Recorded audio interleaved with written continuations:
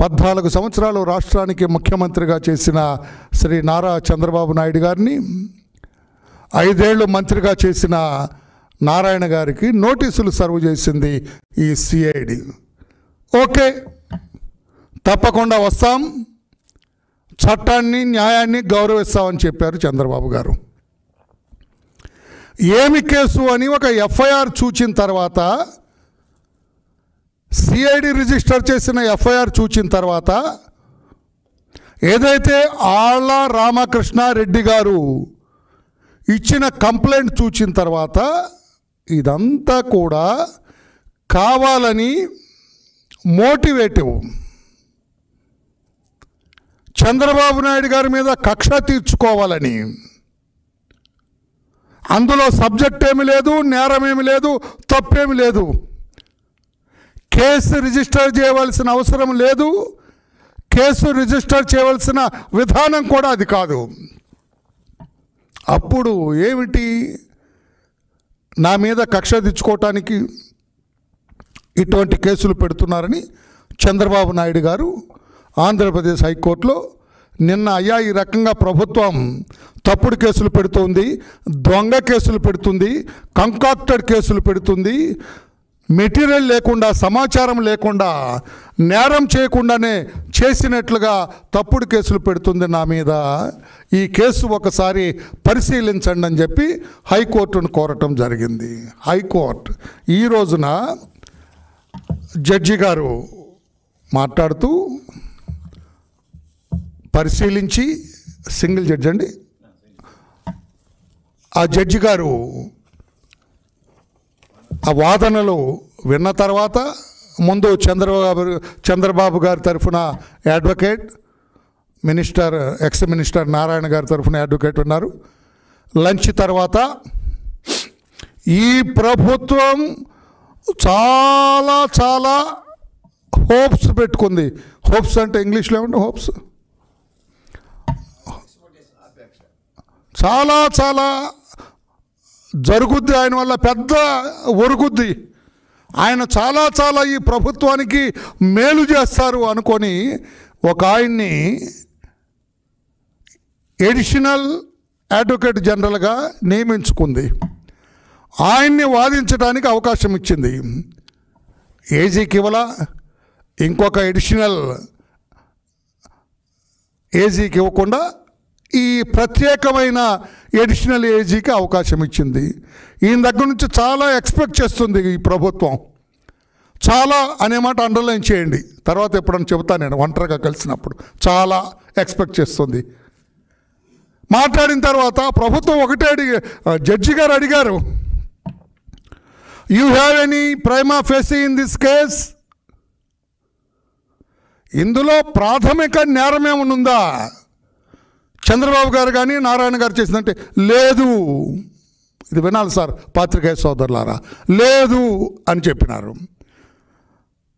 ప్రాథమిక విచారణలో ఏమి గుర్తించారు మీరు? మేము ఇప్పటి వరకు ఏమి గుర్తించలేదు. ఇప్పటి వరకు చేసిన మీ దర్యాప్తులో చంద్రబాబు గారి మీద నారాయణ గారికి వ్యతిరేకంగా సాక్ష్యాలు ఉన్నాయా? లేవు. రైతులేమీ నష్టపోలేదు కదా? ఇవన్నీ ప్రశ్నలు వేసింది జడ్జి గారండి. లేదు సిఆర్డిఏ వాళ్ళు ఏమైనా కంప్లైంట్ ఇచ్చారా? లేదు ఎవరు ఫిర్యాదు చేయకుండా కేసు ఎలా పెడతారన్న హైకోర్టు? అసైన్ రైతులకు కూడా నష్టపరిహారం అందింది కదా అని ప్రశ్నించిన హైకోర్టు. సిఆర్డీఏలోని సెక్షన్ వన్ ఫార్టీ సిక్స్ ప్రకారం అధికారులను ఎలా విచారిస్తారని ప్రశ్నించిన హైకోర్టు ఇది అధికారులకు సంబంధించింది.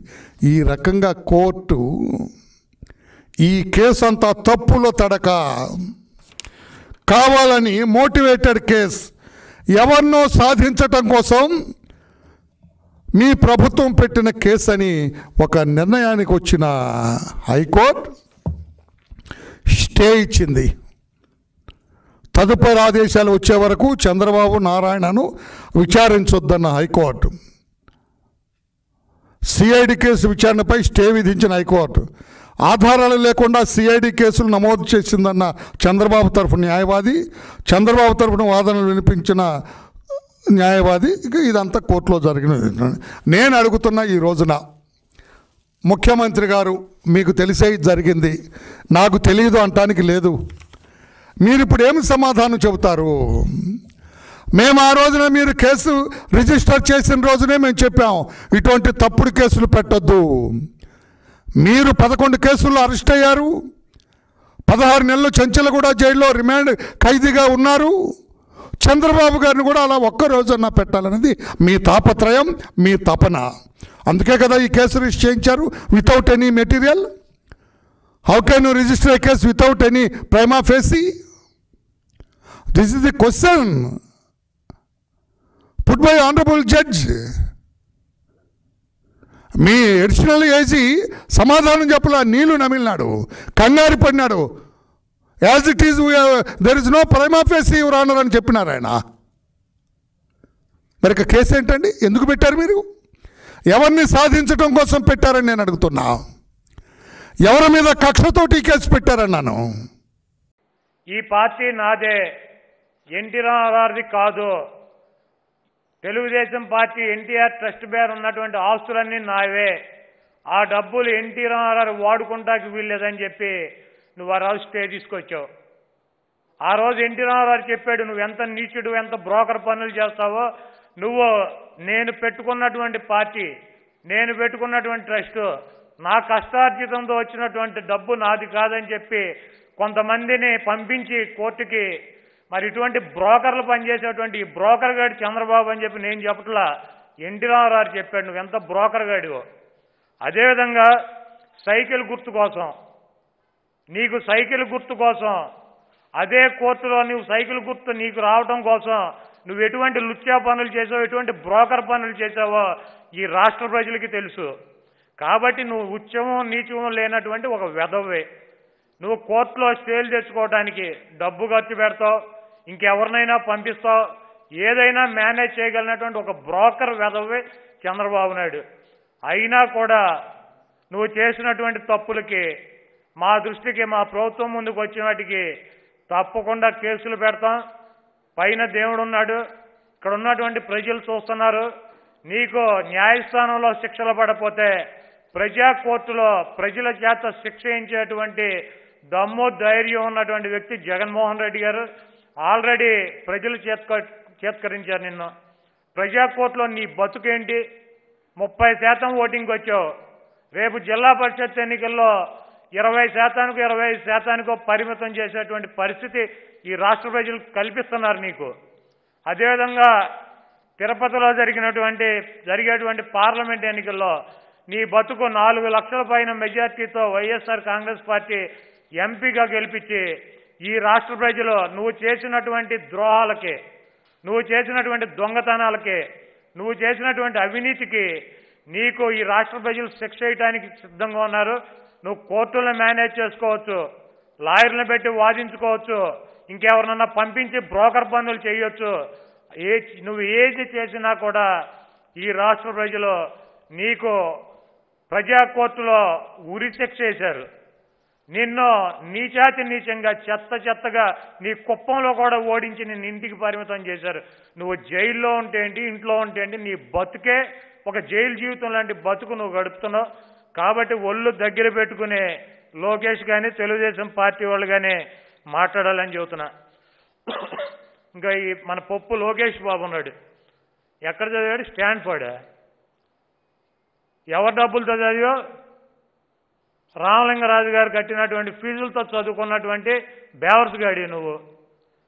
నీకు నీ తండ్రి అకౌంట్ నుంచి అమెరికాలో చదువుకుంటా డబ్బులు ఎవడ పంపించాడు? నువ్వు అకౌంట్లు బయట పెట్టు. నీ తండ్రి పంపించాడా? రామలింగరాజు ఎవరో? నీకేమవుతాడు?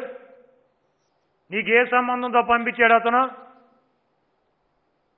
నువ్వు చదువుకుంటానికే ఒక అవినీతి డబ్బు కావాల్సి వచ్చింది నీకు. స్టాన్ఫర్డ్ యూనివర్సిటీలో చదువుతాడని చెబుతాడు. నేను లేఖ రాస్తాను స్టాన్ఫర్డ్కి. ఈ దద్దమ్మకి సర్టిఫికేట్ ఇచ్చారంట స్టాన్ఫర్డ్. ఈ బుర్ర లేనటువంటి వెధవకి ఇటువంటి సన్నాసులకి స్టాన్ఫర్డ్ సర్టిఫికేట్ ఇస్తుందా? దొంగ సర్టిఫికేట్లు తెచ్చుకుని వద్దంతికి జయంతికి తేడా తెలవదు నీకు. వచ్చి మూడు మ- మూడు శాఖలకు మంత్రి పదవి వెలగబెట్టి ముఖ్యమంత్రి మా తాత అని చెబుతావు. మా నాన్న ముఖ్యమంత్రి అని చెబుతావు మేము పోటుగాళ్ళమని చెబుతావు మంగళగిరిలో ఓడిపోయినటువంటి వెధవే నువ్వు. నువ్వు ముఖ్యమంత్రి గురించి మాట్లాడే స్థాయి నీకు. నువ్వెంత? నీ బతుకెంత? పిచ్చివాగుడు వాగమాక. ఈరోజు ఈ రాష్ట్రంలో ఉన్నటువంటి ఐదు కోట్ల మంది ప్రజలు మిమ్మల్ని చేత్కరించుకున్న మీ మొహాన కాండ్రించి ఉమ్మేసిన మీకు ఆ పట్టణం లేదు ఈ పట్టణం లేదు ఆ కార్పొరేషన్ లేదు ఈ కార్పొరేషన్ లేదు. ఎక్కడైనా సరే మీ పార్టీకి సింగిల్ డిజిట్ తీసుకొచ్చి మీకు గడ్డి పెట్టినా కూడా బుద్ధి రానటువంటి బాబు కొడుకులు మీ అంతటి వెధవలో ఈ రాష్ట్రంలో ఉంటాం. మా దురదృష్టం అదేవిధంగా స్టీల్ ప్లాంట్లో కార్మికుడు స్టీల్ ప్లాంట్ని కాపాడాలని చెప్పి ఆత్మహత్య చేసుకున్నాడు. ఆ చావును కూడా రాజకీయంగా వాడేసుకోవాలని చెప్పి ఈ పప్పుగాడు ట్విట్టర్లో పెడుతున్నాడు. ఇది జగన్మోహన్ రెడ్డి గారి వలన జరిగింది. కేసుల వలన జగన్మోహన్ రెడ్డి గారు మోడీ కాళ్ళు పట్టుకుంటున్నాడు. కాళ్ళు పట్టుకోవటం అడుక్కు తినటం వాళ్ళ పార్టీలు వీళ్ళ పార్టీలు అలయన్స్ కోసం ఆడి సంఖ ఈడి సంఖ నాగటం వాళ్ళ గుమ్మాల దగ్గర వీళ్ళ గుమ్మాల దగ్గర పడిగాపులు పడతాం. నీ తండ్రి చంద్రబాబు నాయుడు రక్తంలో ఉంది. జగన్మోహన్ రెడ్డి గారు ప్రజలను నమ్ముకుని పార్టీ పెట్టినటువంటి వ్యక్తి ప్రజలను నమ్ముకుని ఎన్నికలకు వెళ్ళేటువంటి వ్యక్తి ప్రజల మద్దతుతో ఈరోజు ముఖ్యమంత్రిగా కానీ ఇన్ని ఘన విజయాలు కానీ సాధించడానికి సోనియా గాంధీనో నరేంద్ర మోడీనో నీ బాబో లేకపోతే జగన్మోహన్ రెడ్డి గారు ఎవరినో నమ్ముకుని రాజకీయాల్లోకి వచ్చినటువంటి వ్యక్తి కాదు. ప్రజలను నమ్ముకుని తను తను నమ్ముకుని రాజశేఖర రెడ్డి గారి ఆశయాలు సిద్ధాంతాలు నిలబెట్టడం కోసం జనంలోకి వచ్చాడు. ఆయన చేసేటువంటి కార్యక్రమాలను ప్రజలకు చెప్తున్నాడు. ప్రజలు ఇచ్చినటువంటి అవకాశంతో ప్రజలకు చేయాల్సినటువంటి ప్రతి కార్యక్రమాన్ని టైం టు టైం చేసి వాళ్ళ మన్నలను పొందుతున్నటువంటి వ్యక్తి జగన్మోహన్ రెడ్డి గారు.